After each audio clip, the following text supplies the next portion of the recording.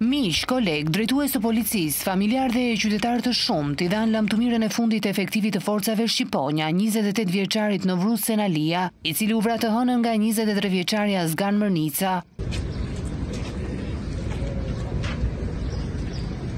Kolegët e veshur me uniformën e policisë dhe me nderime vendosën arkivolin në holin e teatrit Bylis në Fier. Që prej orës dhjetë nderuan policin e vrarë përfaqësues nga e gjithë kupola e Policisë së Shtetit, ministri i Brendshëm Taulant Balla dhe drejtori i përgjithshëm Muhamet Rrumbullaku, por edhe deputetët e Komisionit të Sigurisë. Para Teatrit Bylis, qindra qytetarë prisnin në radhë gjithashtu për të nderuar policin Novruz Cenalia, jeta e të cilit u pre në mes në një moshë fare të re nga dora e krimit.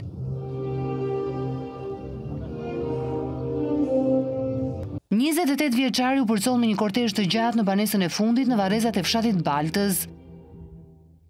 Ndarja e parakohshme nga jeta e Nevruz Cenalisë.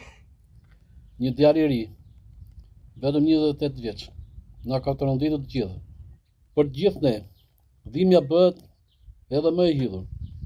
Kur jeta e e punonjësit të Policisë Shtetit ndërpritet kaq shpejt nga dora e një vrasësi. Policia e Shtetit është zotuar dhe është tërësisht e angazhuar për të vendosur para ligjit autorin e vrasjes së Nevruzit. Ne nuk do të rreshtim asnjë sekond derisa drejtësia të ketë në dorën e saj kriminelin që shkrepi armën ndaj Nevruzit.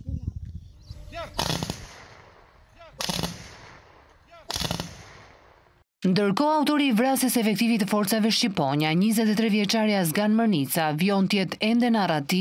Kërkimet për të zhvillohen që prej së hënës, kur njëzet e tre vjeçari qëlloi për vdekje efektivin në fshatin Baltëz. Që nga e hëna forcat e policisë dhe ato Renea kanë përqendruar kërkimet në fshatrat e Fierit. Policia ka tentuar edhe negociata me familjarë të autorit për të bindur të riun të vetëdorëzohet. Por njëzet e tre vjeçari Azgan Mërnica vijon të jetë ende i fshehur. Dy janë pistat ku grupi hetimor ka përqendruar dyshimet për vrasjen e efektivit, pas një konflikti të çastit apo për shkak të detyrës.